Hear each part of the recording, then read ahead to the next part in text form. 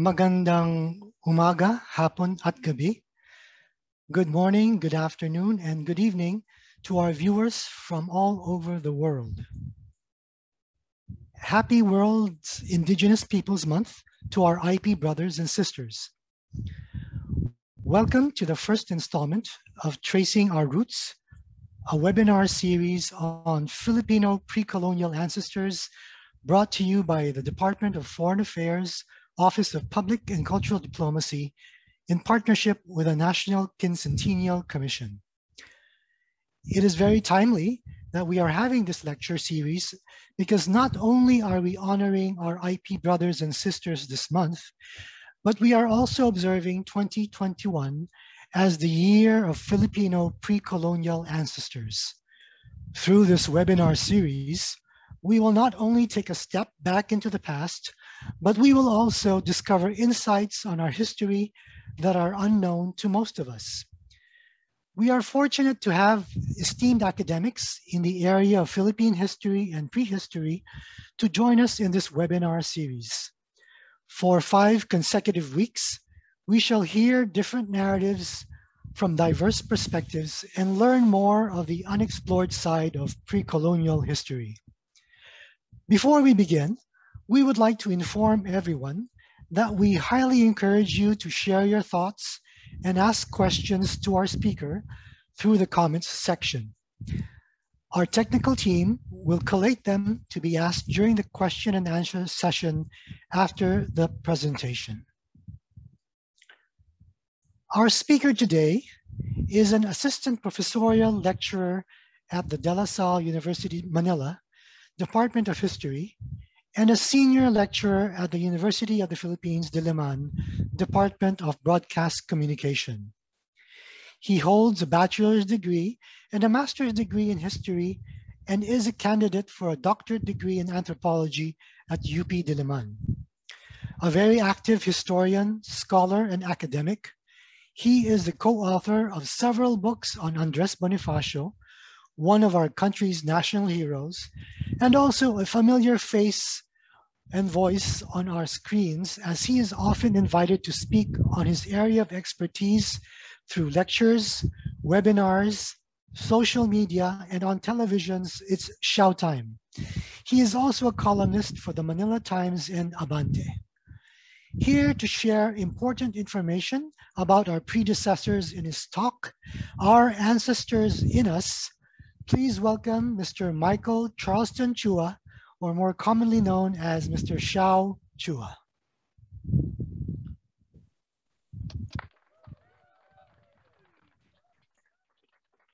Historic day to everyone. Makasaysayang araw po sa ating lahat.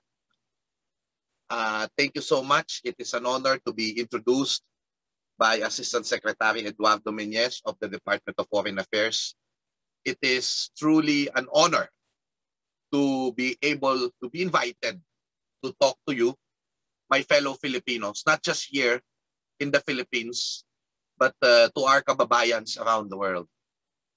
It is my honor to serve you today. I will now share my screen.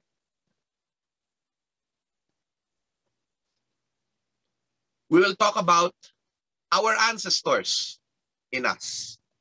This is a uh, the very first lecture in a series on Filipino pre-colonial ancestors called Tracing Our Roots. Uh, other speakers in the next few uh, weeks would be uh, Dr. Ambeth Ocampo, Dr. Felice Noelle Rodriguez, Dr. Ariel Lopez, and Mr. Ian Christopher Alfonso. And I'm honored to be uh, a, a, a speaker with them in this uh, series. I have a YouTube channel, and if you want more webinars and uh, videos about history, please subscribe to my uh, YouTube channel, Xiao Chua. Follow me on my social media accounts. And I have a website of readings and other materials that you can use, especially for our teachers there who teach Philippine history, xiaochuan.net, mangkanixiao.wordpress.com. What is the Filipino? Who is the Filipino? It's a very difficult question to answer because how can you how can you put into a box uh, a country with about 180 languages and 100, 180 cultures. We have a multicultural, multi-ethnic, multilingual, multi-faith people. How do we become a nation in this kind of diversity? What are we going to be our, what, what is it that is going to be our uh, common ground of nation. This year is 2021. We're commemorating the 500 years of the events of 1521, the victory at Mactan and other related events. Although this is about the circumnavigation also of the world, which is an achievement of mankind, this is not a celebration of colonialism. Uh, 2021 our quincentennial commemorations, this is a celebration of our ancestors. And that is why 2021 is also designated by our government, by the Republic of the Philippines, as the year of Filipino pre-colonial ancestors. Maybe in looking at our ancestors, we would see our commonalities. Maybe in looking in our ancestors, we can see our point of nationhood, the point of it all. But what if our idea of our ancestors is skewed by years of histories written by foreigners?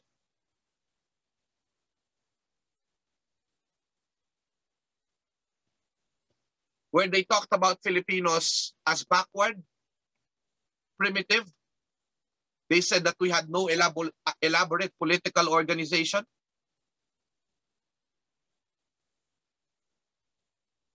Our, our, our colonizers wrote our history for many, many years. And because of that, we have a different view of ourselves. We think of ourselves as not so good. We think of our ancestors as stupid, primitive, and backward. This is what we would like to clarify in this webinar today.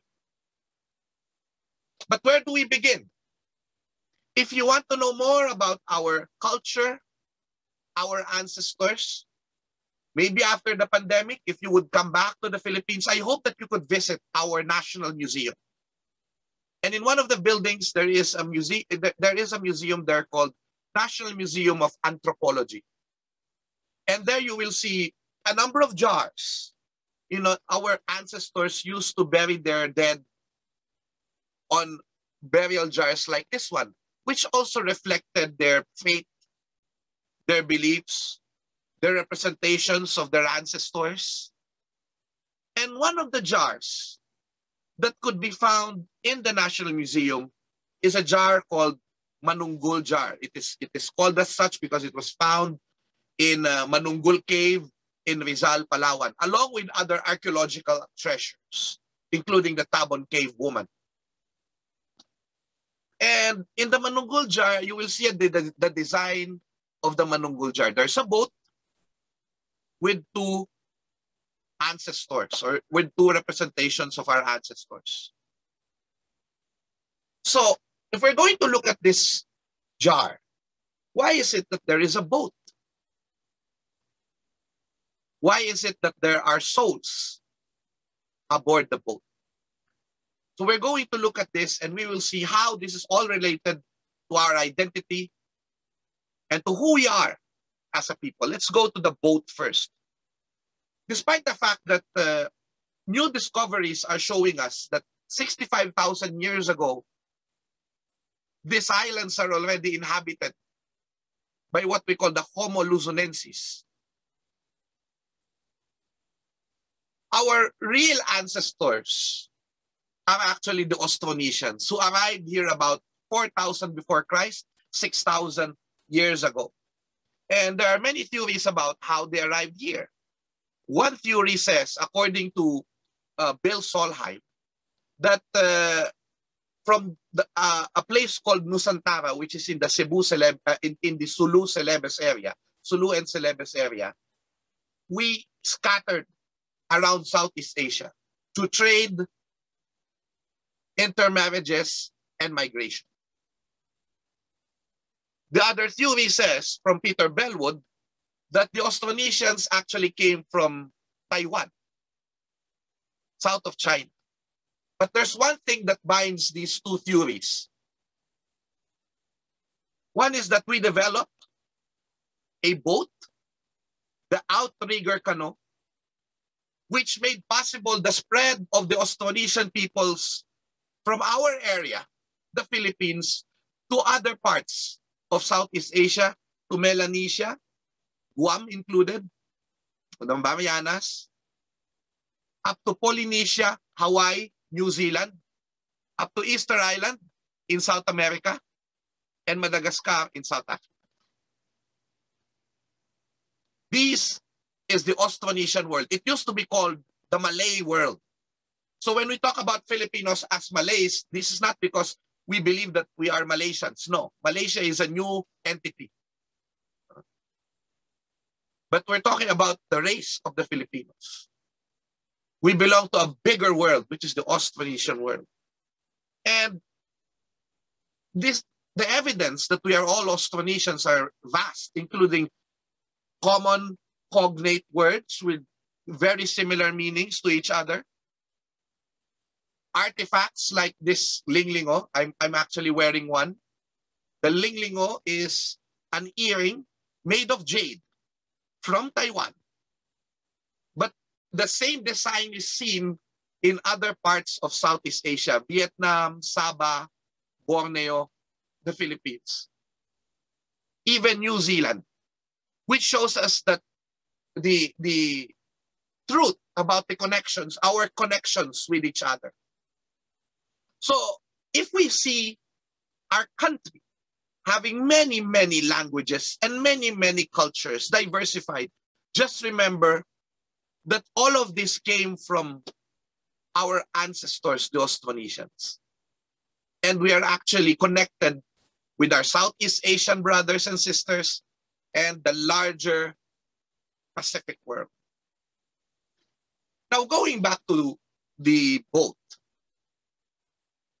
it brings me to the point that the Austronesians, having invented the outrigger canoe, had what we call a maritime culture. This maritime culture is hailed even by experts today that the shipbuilding skills and navigational insights of Indians, Filipinos, and Javanese and Arabs were essential to Europe's age of discovery.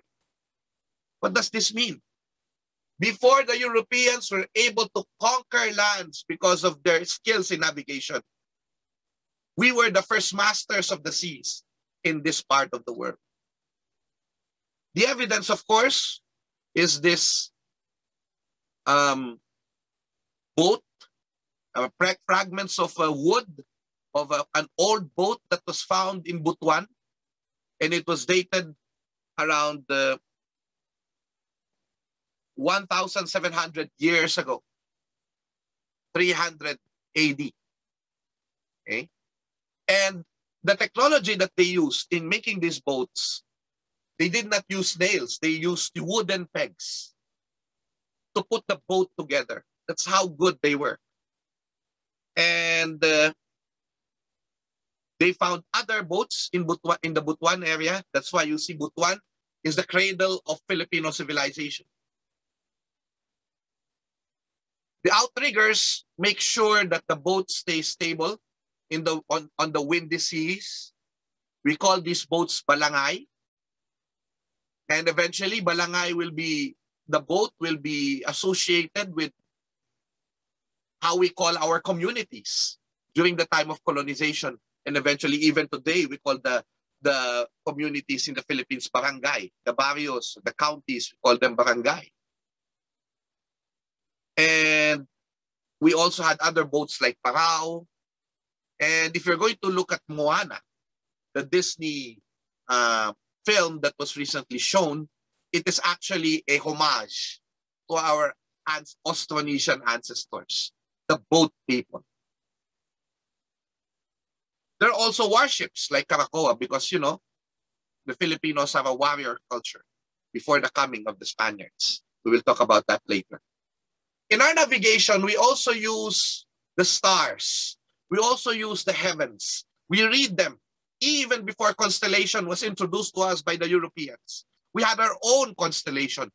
We see our culture on the stars. When Dante Ambrosio, the ethno-astronomer, the late ethno-astronomer and historian said that when we look into the mountain, so we look up to the star, uh, when we look up to the heavens, we just do not see stars. We also see our culture, we also see our faith, we also see our lifestyle. And so this balatik, for example, this is a, a trap for the wild boar, is actually our name for the Orion or Orion's belt constellation. So the stars are guiding us and we have our references based on our culture. Also, this fish trap called the bubu is also what we call Big Dipper.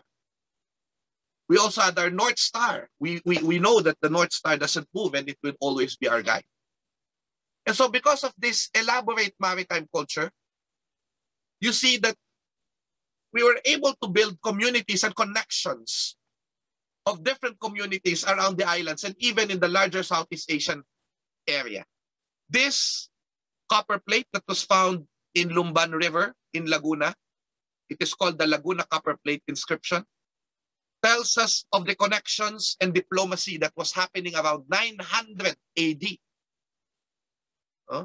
900 AD to the kingdoms of Tondo, Ulilan Kasumuran or the mountainous areas of Laguna. Ulilan is actually the lake. Binuangan, which is Paracale, the gold mines of Paracale in Bicol. Dewata, which is most likely Butuan. And Medang, which is in present-day Indonesia. So this ancient document tells us that the maritime culture was able to connect us and that our islands, the archipelago, we were not separated because we were islands. It's actually easier at that time. We had no roads. It's the Spaniards who introduced the road systems. But it was easier for us to travel by the sea. And that's why eventually we, we were, uh, in this area was called Tagalog because the people here came from the Alog, uh, the river delta and the seashore. Alog is the river delta and the seashore, according to a historian, Lars Raymond Dubaldo. That's why the Tagalogs, these are the Tagalogs from an old document from 1593 called the Boxer Codex. And remember that our ancestors had the polity. We had an organized, we had organized governments. We had alliances that were able to be built through the sandugo or the blood compact of the datus. These, uh, the picture of this, this, this picture shows uh, the, the sultans of uh, Mindanao in the 20th century, early 20th century. These are the heirs of our ancestors and their kind of government. And because of that, we were able to be, become part of the Southeast Asian trade route to China. And that is why you, you're going to see that why are our ancestors, why did they welcome, why they were welcoming why are we hospitable? It is because even before the coming of the Spaniards, we are very much attuned or, or we are very much uh, welcoming already to our visitors because they are our trading partners. Now we go to the other figure. Aside from the boat, you see the soul. And this can be explained through a belief by our ancestors that when we die, our kaluluwa, our kaluluwa, our soul travels because we have a maritime culture. Our consciousness tells us that our fate or our consciousness tell, tells us that in our fate, go when we go to the afterlife, when we die, we will ride a boat going to the afterlife. Our soul goes to the afterlife with a boat. That's why if you're going to look at this commonality, remember we have many cultures around the country, but it's very common to see in different parts of the country that the coffins that are used to bury our ancestors after the burial jars no, are both coffins. So they, they found both coffins in Butuan, both coffins in Cagayan de Oro, in Masbate, and also in the Cordillera. So if you're going to look at the culture of our uh, ethno-linguistic groups, our indigenous peoples in which we celebrate their day today, you will see the various patterns of culture that we have that makes us one people, despite our diversity. Okay? And even when some of our ancestors learned how to bury their dead, you see that there were uh, the, the design of their graves are shaped like boats, especially in Batanes. So you see the boat, the, the, the bangka and the bangkay connection because the bangkay is is uh, buried in uh, with the bangka. That's why if you look closer, or when you look closer, you will realize that in the Manunggul jar, there are actually not, not, not one, not two souls, but actually three souls. Why? Because there are three faces in the Manunggul jar. The soul, the abay, or the, uh, the, the, the companion of the soul, and the boat. The boat itself has a soul because we believe that when our ancestors die, we go back to nature. We go back to the trees, we go back to the forests, we go back to the rivers, to the rocks.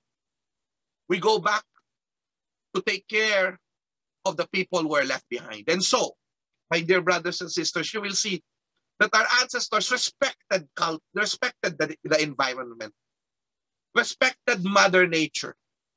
When they have to build a house and have to cut trees, they have to have a ritual to to uh, uh, ask permission from Mother Nature for the uh, cutting of the trees, and it has to be uh, done in a good with a good purpose. And so you see there that early Filipinos are makakalikas. All right? And so now we go to we elaborate. What is the belief in the kaluluwa? It's actually, although, oh, by the way, before that, if you're going to see the design in the Manunggul jar, you see the boat and then there's a there's a, a soul riding a boat. See? In, when I visited a Muslim graveyard in uh, in uh, uh, Zamboanga del Sur, at yeah, Zamboanga del Sur, I or Zamboanga City. Zamboanga City, I'm sorry, Zamboanga City. I saw these, uh, what we call sunduks or grave markers. This is where you see that you have, you know, that kind of representation in Palawan through the Manunggul jar. You also see this also in uh, Zamboanga and in Sulu as well. Uh, you see both coffins or both graves with the representation of a person riding it. Okay.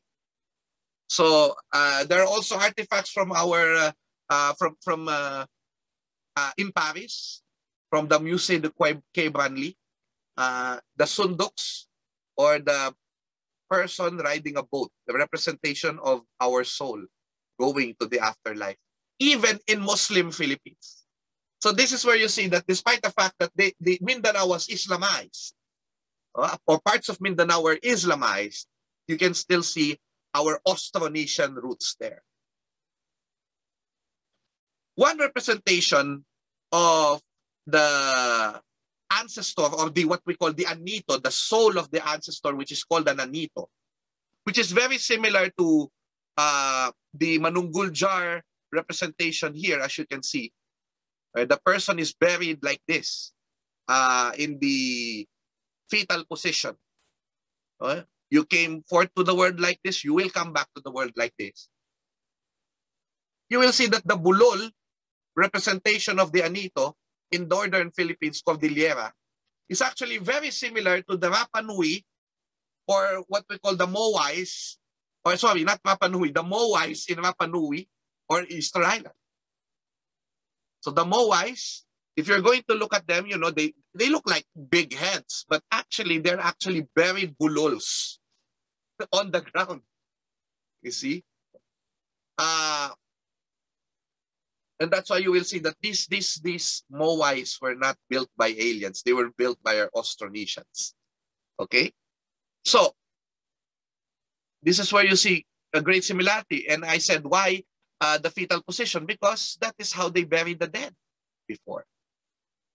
And what they do with the dead is that they will wipe, they, they will they will smoke the dead, and they're going to wipe the dead so that the last uh, juices of the dead will go to your panyo or to your handkerchief or to your cloth and that you can also um, you can also wipe it to yourself so that the power of the dead person goes to you. The gahum, the power, the strength of the person goes to you as well. And so this is the belief of our ancestors, which is very much reflected even today to our pra religious practices. When Reina Juana in 1521 received the Santo Niño, or even some uh, some uh, translation of the Pigafetta account said, asked for the Santo Niño. We probably saw it as an anito. And that's why when we accepted the faith of our colonizers, uh, we saw that this is just the continuation of our old culture. And so that's why we continue to wipe uh, the santos with our handkerchiefs and with our towels to get power from them, to get healing from them. And this is what where, where, where you see that our ancestors, their culture did not die. When the Spaniards came and colonized us, our culture is enjoying. Our culture is very much flexible. Now, Let's elaborate on this belief in the soul. Our ancestors believe that a person has two parts. The panlabas, this is the body, what you see in the outside, and the panloob, what's inside of you. And the panloob has two life forces. Kaluluwa, or the soul, and ginhawa. Let's go first to ginhawa. Ginhawa is the life force in the liver that animates our well-being. When you are healthy, according to Zeus Salazar, who collected the various definitions of ginhawa, when you are healthy, when you can breathe well, when you can, um, when you have peace of mind, when you are comfortable, when you can eat, when you can, you know, uh, that's why when you go to the comfort room, that's also ginhawa. Ginhawa, pagyaman, is not necessarily what Filipinos wanted. You can be mayaman or rich but not maginhawa. But what Filipinos really want is kaginhawa. The total well-being of a person.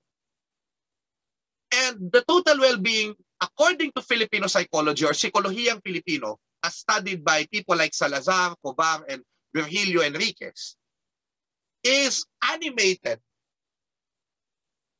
or will only work, the ginhawa will only work if the kaluluwa, which is in the mind, eh, no, no, the brain, in the brain of a person, will also work.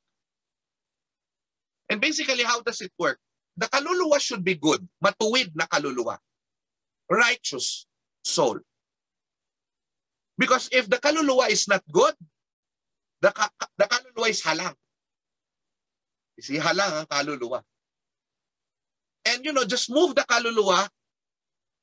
Uh, I mean, if the kaluluwa moved out of its supposed alignment, that will make a child sick. That's why nausog ang kaluluwa. That would make a person uh, not feel well. And so, uh, what I'm saying here is this. Our ancient Filipinos should keep their kaluluwa matuwid. The bad kaluluwa should not come into the body. And so you have to protect the body with anting-anting. the gold of our ancestors. That's why they were wearing elaborate gold. How do you say that our ancestors are stupid when they can actually create these kinds of materials? And this is not just for jewelry. There is a spiritual component to this. To protect their kaluluwa from being bad and to maintain matuwid na kaluluwa, which brings kaginhawaan. Eventually, Andres Bonifacio would equate kaginhawaan with kalayaan. Not just political freedoms, but kaginhawaan. So there, there is no kalayaan or freedom, real freedom, if there is no well-being or kaginhawaan. And there is no kaginhawaan without mabuting kaluluwa. So what we're talking about here is the values of our ancestors. What did they value? That we can still learn from them after all these years. How do you show kabutihang loob? How do you show your matuwid na kaluluwa? You show this through kapatiran. Kapatiran is ritualized through the sandugo or the blood compact, which makes people magkapatid. And they are supposed to love each other as magkapatid. Datu, datus have sandugo so that they can unite the various communities into the bayan.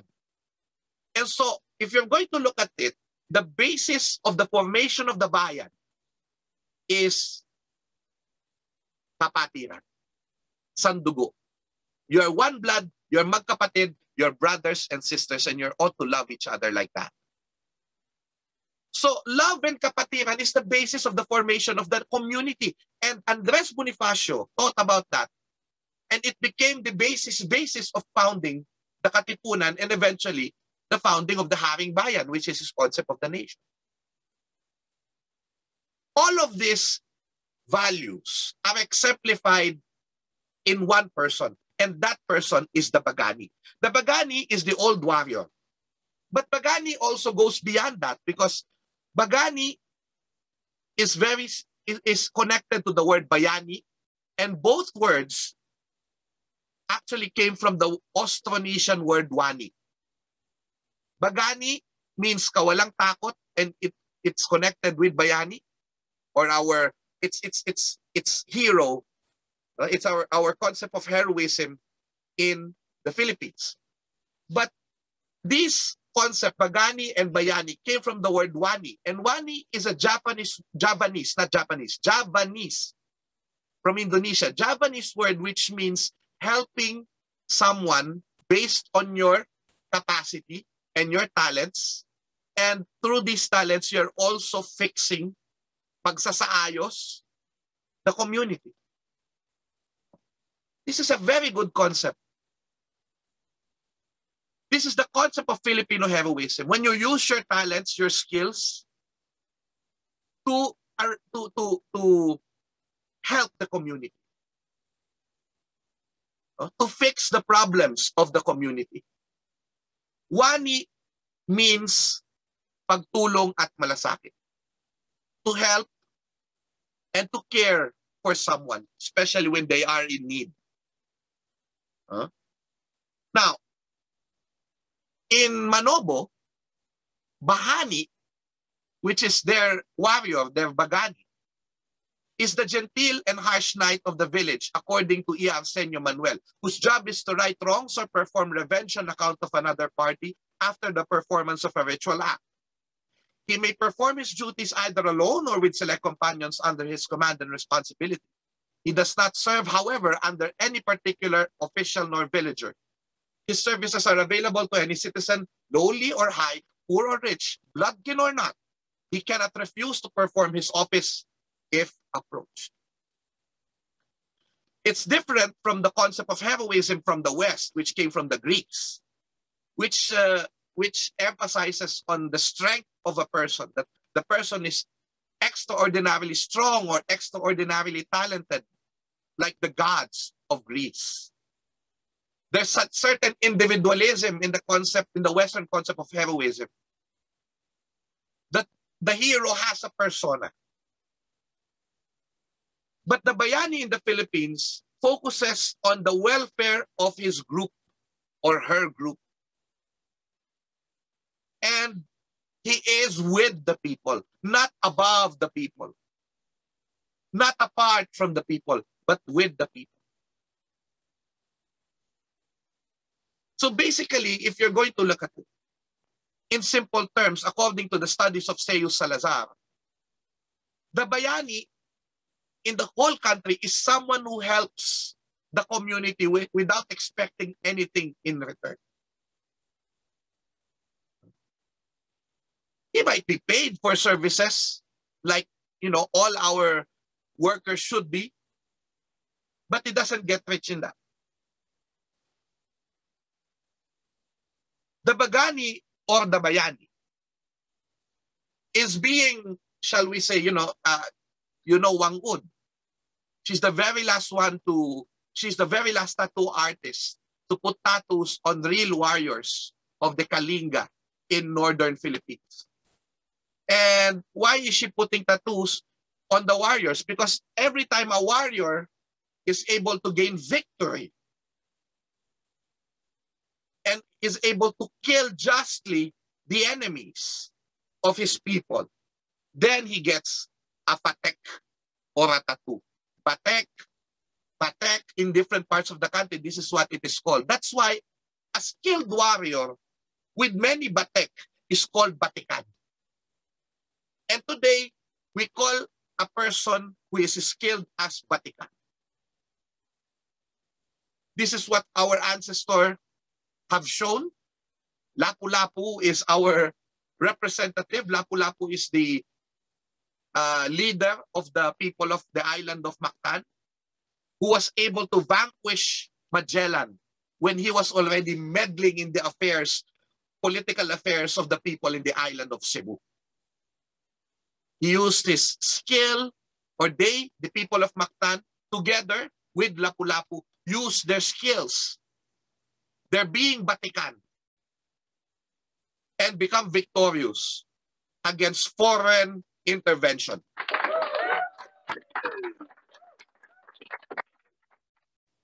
So when we talk about the quincentennial theme, that is what we call victory of our ancestors. The victory at Mactan. We, we commemorate that. But exemplified in the Bagani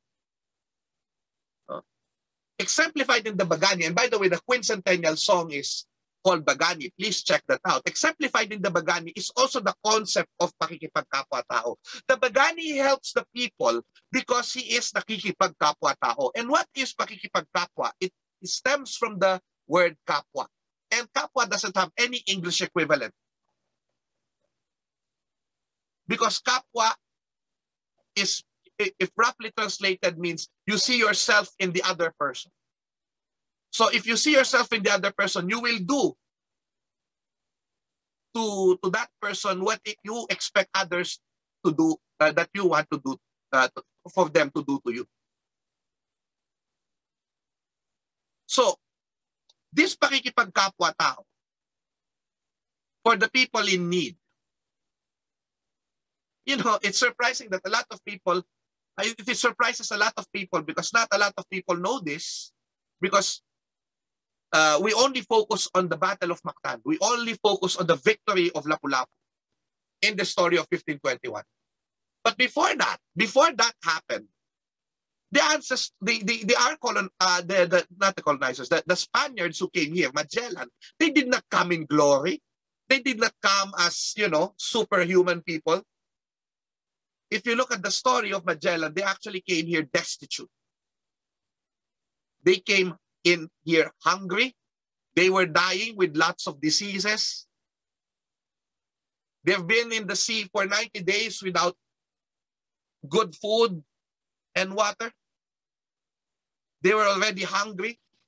When our ancestors saw them as they landed in Samar on March 1521, and our ancestors, the Baganis, they did not understand each other.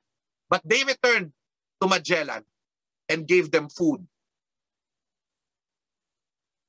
and brought them coconut water so that they could be strong again. Without this act of humanity to the needy, we will not be talking of any first circumnavigation of the world, which became the achievement of science and humankind. That is why our team is victory and humanity. This humanity doesn't, you know, choose any race, any color of skin. When our when when when the when when the Spaniards came, our ancestors gave them food. Also because we knew how to trade. We know how to make friends. And we welcome everyone when they come in peace. And this pakikipagkapwa-tao, we also showed to the people in need during World War II. There are about 1,300 Jews that we welcomed here in our country to President Manuel Quezon. And they were saved from the Holocaust, from the horrible Holocaust that happened in the 1940s. When the, when the communists won in China in 1949, the anti-communist white Russian community numbering about 5,500 were saved by the Filipinos through President Elpidio Quirino. And they were placed, incidentally, in Guiuan, Eastern Samar, where Magellan also tasted Filipino humanity from our ancestors. And they were saved from definite, uh, from, from, from real danger because of that. And also the boat people from Vietnam. We were able to take care of them, thousands of them, in various parts of the country, especially in Palawan and in Bataan. And when we worship, when we worship, we also show our pakikipagkapwa. Why? Because our our our thanksgiving for a good harvest is brought out of thanksgiving to the Anitos, to the Bathala, to the Bathala, to the one God for giving us good harvest. And so this is being continued today in the way we feast. We share food to each other. Some people say the fiesta is a Spanish trait and we do not want it because it makes people utangeros. People people borrow money just to share food. But you know, sharing food is actually the way Filipinos do it even before the Spaniards came. When they want to thank the Anitos, they share food to each other. We shared food to our uh, visitors when they come here. We had fiesta. And we share food to, our, to people even if we do not know them. And the kapatiran of the Filipinos, Filipino revolutionaries, the Katipunan, who initiated the Philippine Revolution and the birth of the Filipino nation. In the very first cry of the revolution, what did, what did Tandang Sora do? She fed a thousand Katipuneros. The revolution actually started in feasting. And when the last Spaniards surrendered, to the Filipino forces in Baler, Aurora, one year after the actual surrender of the Spaniards to the Americans. When they came out of the Church of Baler, the Spaniards felt that maybe they will be harmed. But no, the Filipino forces, when they surrendered, when they came out of the church, hugged them, welcomed them, and shouted, Amigos, amigos we are your friends, and brought them back to safety. And they were able to go back to Spain, and they were called our friends because of their bravery. The Spaniards showed their bravery in Baler in 1899. The Filipinos showed our pakikipagkapwa-tao, our humanity. And that made us victorious. We ended 300 years of Spanish colonialism, we Filipinos, our revolution became victorious. And in our revolutions, we just do not show our faith, we also show our humanity. And we have shown that in the People Power Revolution of 1896, when we gave food to people, to the, to the soldiers, and to the soldiers who are not part of the revolution or supposed to, you know, quell the revolution. We did not harm them. We gave them flowers.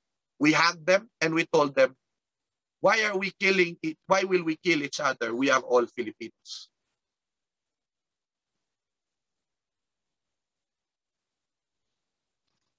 Jose Rizal once said and predicted, with the new men that will spring from her bosom and the remembrance of the past, she will perhaps enter openly the wide road of progress and all will work jointly to strengthen the mother country at home as well as abroad. With the same enthusiasm with which a young man returns to cultivate his father's farmland, so long devastated and abandoned due to the negligence of those that alienated it, perhaps the people will revive their maritime and commercial activities and free once more, like the bird that leaves its cage, like the flower that returns to the open air. They will discover their good old qualities, which we are losing little by little, and again become lovers of peace, gay, lively, smiling, hospitable, and fearless. Paano ba natin maaabot ang kaginhawaan? How will we reach kaginhawaan of the bayan? Simple. According to Rizal, with us, the new men that sprang from her bosom, and if we remember the past, if we remember our ancestors, and we go back to our maritime and commercial activities, and we will help the country from here at home as well as those abroad, we will become free once more. We will recover our good old qualities and we will be maginhawa. For some of you, for many of you, this webinar is just the beginning of your discovery, of your looking back, and remembrance of the past, and remembrance of those who came before us, in order for you to be able to contribute to that kaginhawa. And so, ladies and gentlemen, isn't it that this is what a lot of you are already doing collectively as overseas Filipino workers, as migrant Filipinos around the world, by helping the economy here in the Philippines to be afloat because of what you do to your families? Your collective heroism had saved the country. And this is what a lot of us continue to do with the community pantries, which just became famous because of the pandemic, but has been done all around the country for many, many years, where people help each other in times of need, calamities, and all of that. And with this kind of attitude, with this kind of spirit that we have, the spirit of pakikipagkapwa-tao, with our victorious ancestors, their spirit is also with us. We are going to prevail. We are going to help our frontliners. We are going to pray for them. We are going to support them. And all of us will be able to do our part and our share. And collectively, we are going to be victorious in our humanity. And so, ladies and gentlemen, when I look at this jar, the Manunggul jar, I just do not see a burial jar. I see the victory and humanity within us. We see ourselves, we see our identity. That jar, in that jar, we see ourselves. Marami pong salamat at makasaysayang araw po sa ating lahat.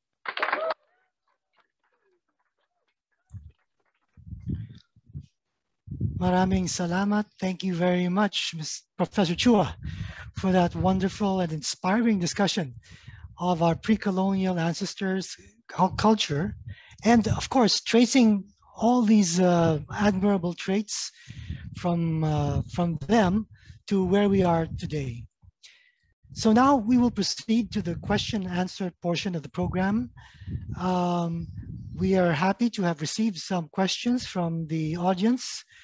Uh, and it, you can still do that by uh, typing in the comments box And let me begin with a number of them. Um, we have a question here from uh, Ms. Rona Aves. Uh, can you elaborate on how our ancestors built connections with other nationalities? How did they view them and interact with these other nationalities?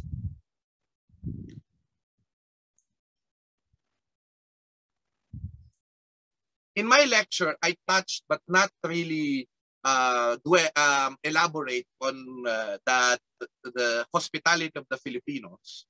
And it is because they are actually very much adept with trade. They've been trading with our uh, with our neighbors in Southeast Asia for a thousand, for a thousand years already. And so uh, uh what we can see is that uh, you know they uh, some of them knew how to speak the lingua franca, which was Malay at that time, Bahasa Malay. Uh, uh, that's why if you're going to look at the Pigafetta account, Enrique de Malaca, who was Malay, was able to understand the the the datus, only the datus, not the common people during that time. Only the datus, only the datus. So uh, they're so much adept that they they some of the elites at the time, the datus, the they were able to learn the language of, of the, the common language of trade at that time. And uh, I believe that the although the, you know the problem with this the story of our ancestors is that we do not have so much accounts from their perspective.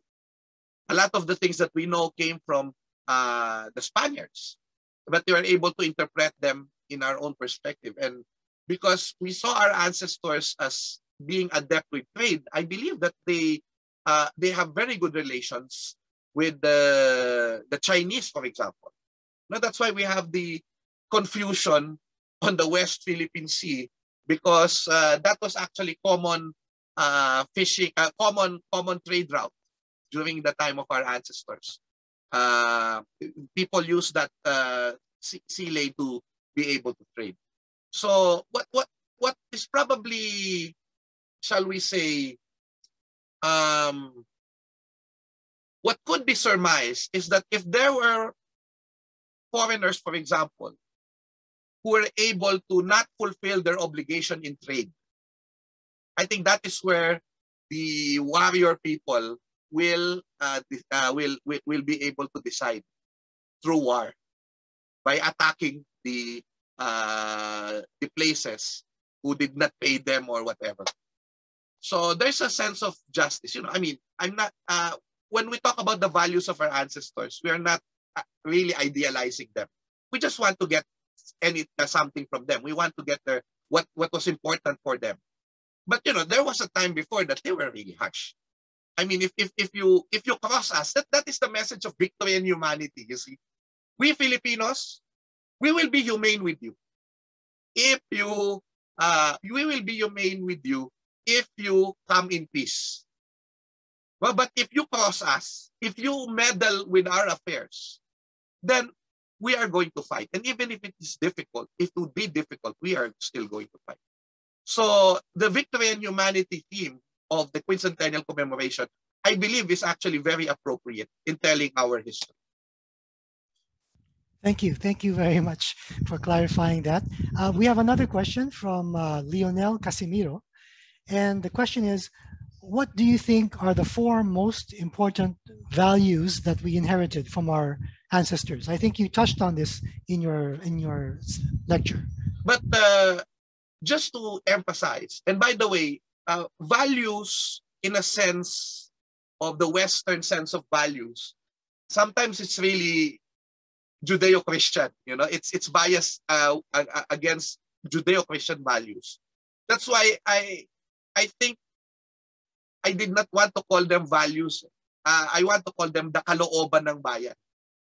Uh, this is the spirit of our people. Uh, so uh, my my my take would be if you're going to look at the lecture, the spirit of our people as imbibed also by the Katipunan is kaginhawaan, kaginhawaan, mabuting kalooban or goodness, uh, kapatiran, or brotherhood and sisterhood. And this is all based upon love. Okay? Even the Katipuneros were able to recognize this. You know, they always say in the Cartilla, the first command, one of the first commandment here is to love your fellow man. Andres Bonifacio emphasized that when you love God, you have to love your, your native land. Because loving your native land is love of fellow man. So it, I think Andres Bonifacio and our, and our ancestors did not just teach us how to fight or be magiting or be valiant or be brave. They also taught us how to love. And I think that's the bottom line. That's the greatest spirit of that we can get from our ancestors. The love, the love with each other, that's also pakikipagkapwa. Thank you, uh, Professor Chua. Um, well, I, I uh, I'm conscious of the time, so uh, we will send other questions uh, of the audience to you, and then uh, perhaps we could reach out or through your uh, social media posts, uh, they can learn more about this very interesting topic. And as as I mentioned, tracing our roots is a five uh, episode uh, webinar and uh, next week's over the next weeks we'll be having more um, so we would like to thank you for this wonderful and enlightening enlightening morning uh, afternoon or evening for all of us and um, let me conclude by saying that uh, there are different sides of our history that still remain unearthed. And by uncovering each mystery, we discover parts of our identity, our culture, and our humanity. So before we end today's episode, uh, allow me to present this virtual certificate of appreciation uh, to our speaker. And uh, if I may read this certificate, the Department of Foreign Affairs presents this certificate of appreciation to Mr. Charleston Xiao Chua for sharing his invaluable insights and expertise as resource speaker on the first episode of Tracing Our Roots, a webinar series on pre Filipino pre-colonial ancestors held on 2 September 2021 on the official Facebook page and YouTube channel of the DFA, given the second day of September 2021. So we would like to again extend our appreciation to Professor Chua for joining us today and sharing his knowledge. Uh, we would like to thank all our viewers and uh, kindly the form, which will be posted on the chat box below to receive your certificates of attendance to today's webinar. We hope to see you again in the second installment of our webinar on 9 September at 2 p.m. this time, where we will have Dr. Ambeth Ocampo speak on rotten beef and stinking fish, Rizal and the writing of Philippine prehistory. So I'm sure that given today's inaugural, very interesting, connected uh, lecture, uh, we will continue to enthrall the audiences over the next uh, few episodes. So uh, stay tuned. And thank you very much again, Professor Chua. We will follow you on uh, social media and through your other outlets. I would like to thank uh, the Department of Foreign Affairs and you, ASEC uh, Menyes, for this initiative because this uh, kind of uh, materials are very much needed now because of the online classes. I, I would really, uh, uh, I would like to take this opportunity before we go to to greet a very special uh, a friend of mine, uh, whom I consider a, a, a family member also, uh, Cham Guevara from the Department of Foreign Affairs. He used to be consul in Canada. And I also like to greet my mother, Vilma Briones Chua, and the Briones Chua clan, uh, and also uh, my girlfriend, Duela Mai Orozco. And I, I thank Ian Alfonso as well from the National Quincentennial Committee and the people from the NHCP uh, for and, and the Department of Foreign Affairs for this opportunity given to me. God bless you all. Mabuhay ang Pilipinas.